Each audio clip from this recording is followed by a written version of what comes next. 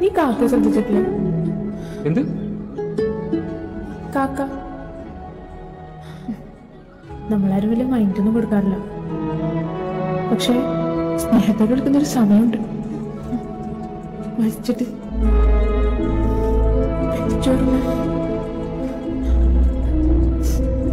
ഈ കാക്കയുടെ ഹോസ്പിറ്റലിൽ നിങ്ങൾക്ക് ഏതാണ് മുകൾ കൊണ്ടാണ് സൗന്ദര്യം നടക്കുന്നത് എനിക്കറിയില്ല. പക്ഷെ ഞാൻ മനസ്സിലാക്കിയൊരു കാര്യമുണ്ട്. നമ്മളൊരാളുടെ മുഖത്ത് നോക്കി ആത്മാർത്ഥ ചിരിക്കുമ്പോഴാണ് നമുക്കൊക്കെ സൗന്ദര്യം ഉണ്ടാവും അതുകൊണ്ട് കാക്ക എന്ന ഷോർട്ട് ഫിലിമിലൂടെ ശ്രദ്ധ നേടിയ യുവനടി ലക്ഷ്മിക സജീവന്റെ മരണവാർത്തയാണിപ്പോൾ സോഷ്യൽ മീഡിയയിൽ നിറയുന്നത്. ഷാർജയിൽ വെച്ചാണ് നടിയുടെ അന്ത്യം സംഭവിച്ചത്.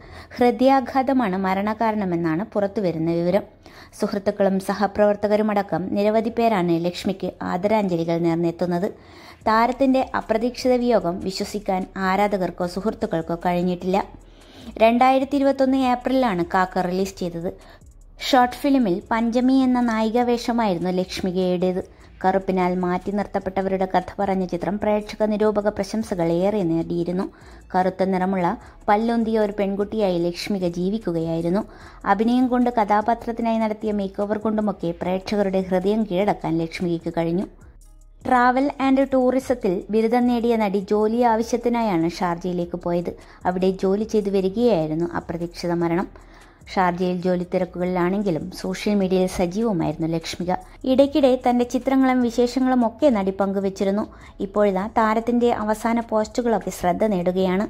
പ്രതീക്ഷയെക്കുറിച്ചുള്ള ഒരു പോസ്റ്റാണ് ലക്ഷ്മിക ഇൻസ്റ്റഗ്രാമിൽ അവസാനമായി പങ്കുവച്ചിരിക്കുന്നത്. പ്രതീക്ഷ എല്ലാ ഇരുട്ടിലും വെളിച്ചമാകുന്നത് എന്നാണ് നടി കുറിച്ചത്. സൂര്യാസ്തമനത്തിന്റെ ചിത്രത്തോടൊപ്പമായിരുന്നു ലക്ഷ്മിയുടെ പോസ്റ്റ്. ഇക്കഴിഞ്ഞ സെപ്റ്റംബറിലായിരുന്നു ലക്ഷ്മിക തന്റെ ഇരുപത്തിയേഴാമത്തെ പിറന്നാൾ ആഘോഷിച്ചത്. എന്റെ ഇരുപത്തിയേഴ് തുടങ്ങിയത് ഇങ്ങനെയാണ്. അയ്യോ എനിക്ക് പ്രായമാവുകയാണ്. എല്ലാ വേദനകളിൽ നിന്ന് അകന്നു നടക്കാനുള്ള ശക്തി തന്നത് സർവശക്തനാണ്. എന്റെ ജീവിതത്തിന്റെ മറ്റൊരു അധ്യായത്തിലേക്ക് ചുവടുവെക്കുന്നു സ്നേഹത്തിനും ആശംസകൾക്കും എല്ലാവർക്കും നന്ദി. ഞാൻ ഭയങ്കര എക്സൈറ്റഡ് ആണ് എന്നായിരുന്നു അന്ന് ലക്ഷ്മിയെ കുറിച്ചത്. നിരവധി പേരാണ് ലക്ഷ്മിയുടെ ഈ പോസ്റ്റുകൾക്ക് താഴെ ആദരാഞ്ജലികൾ എന്ന് കുറിക്കുന്നത്.